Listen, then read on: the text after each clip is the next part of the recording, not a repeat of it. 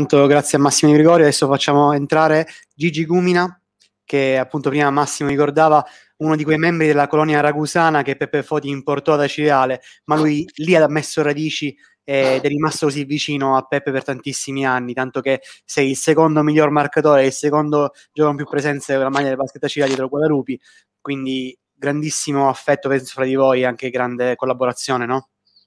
Sì, Roberto, intanto un saluto a tutti. Eh, rispetto agli altri, diciamo che il, i miei ricordi più belli di Peppe ormai risalgono quasi 30 anni fa, quando, come ha detto Massimo Di Gregorio, Pippo Borzi ci consigliò di venire da Cireale a giocare, io, lui e Eugenio Chipinti, eh, che già conoscevamo Peppe, L'abbiamo avuto due anni come giocatore e quattro come allenatore in Serie C, C1, C1 la, la C nazionale che c'era allora.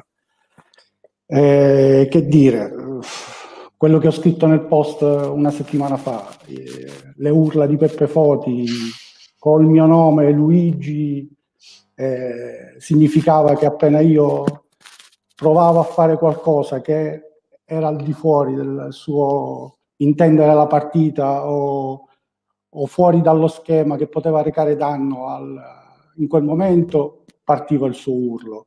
A volte lo, gli strozzavo l'urlo in gola, a volte no, però... Perché segnavi, no? In quel caso segnavi. Poco, ma segnavo. Esatto. Eh, niente, una cosa che devo confermare che ha detto Vazzana è la puntualità eh, non so se è un aneddoto, è, è, quello che ha caratterizzato, cioè che ho, ho preso, ho fatto mio da, da, da Peppe. Eh, noi da giovani universitari, perché eravamo poco più che ventenni, il venerdì tornavamo a casa dopo l'allenamento a Ragusa, quindi arrivavamo comunque tardi, l'allenamento alle 9 di sera. Uh-huh. E in quegli anni noi giocavamo alle 11 di mattina la domenica allo scientifico. Quindi partivamo alle 8 del mattino per essere alle 10 in palestra. Nonostante Di Gregorio andasse in discoteca, ma questo perché non, non lo diciamo. Tornava, non lo diciamo. Ah, non ci sta sentendo nessuno. Perfetto. E capitava che a volte arrivavamo in ritardo, 10 e quarto, piuttosto che, non so, più tardi che potevamo fare, potevano essere 10 e mezza.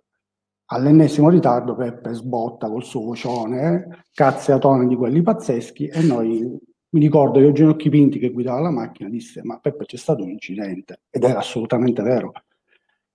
Non ha importanza, la prossima volta partite prima. E io questa cosa la faccio mia ora, tuttora, quando vado a, a giocare, con, eh, con i, do appuntamento ai ragazzi per andare in trasferta. E gli do appuntamento molto, molto, molto prima. Certo. Per cui i ragazzi, che non lo, ma perché? Non c'è motivo, i genitori, ma ci arriviamo in tempo questa cosa Peppe l'ha sempre fatta, anche quando andava a fare le trasferte, che andavamo a giocare a Marsala piuttosto che ad Alcamo a Paceco.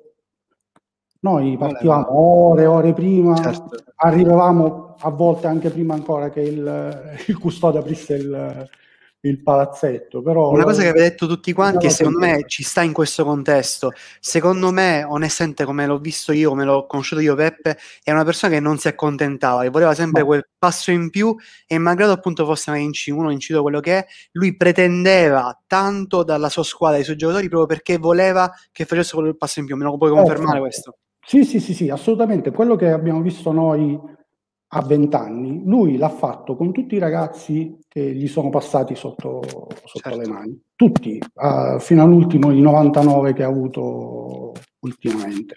E poi la disponibilità fuori dal campo è stata qualcosa di, di splendido. Cioè, capitava che le domeniche che c'era il carnevale dei Cirale, noi giocavamo in casa, c'erano file chilometri al casello o alla, alla, statale. Lui per evitare questo, che noi venivamo da Ragusa o da Catania, ci invitava a casa sua a mangiare, Patrizia cucinava. Eh, sì, sì, era un, una persona splendida, anche se il suo modo di poteva sembrare burbero, ma era come dici tu, la voglia di, di, di migliorare quello che lui già capiva che tu non, non sapevi fare, quindi voleva di più in quello. Esatto. Gigi, io ti ringrazio per la tua, la tua testimonianza, davvero grazie toccante. grazie davvero di essere venuto con grazie. noi.